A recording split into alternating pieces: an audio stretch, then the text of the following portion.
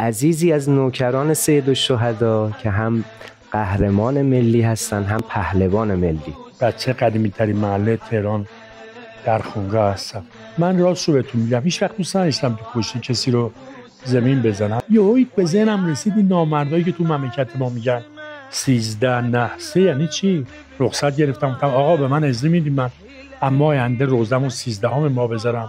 شد توافی که همه سال در محضر مردم میرم خدمت مولامو. و آقا اسدالله غالب در مکه تواف می‌کنم. آخرین و همیشه به نام آقای امام جواد یا جواد و یا کریم. خدایا کمک کن که تا آخر عمر حسینی بمانیم. حسینی بمیر. انشاءالله.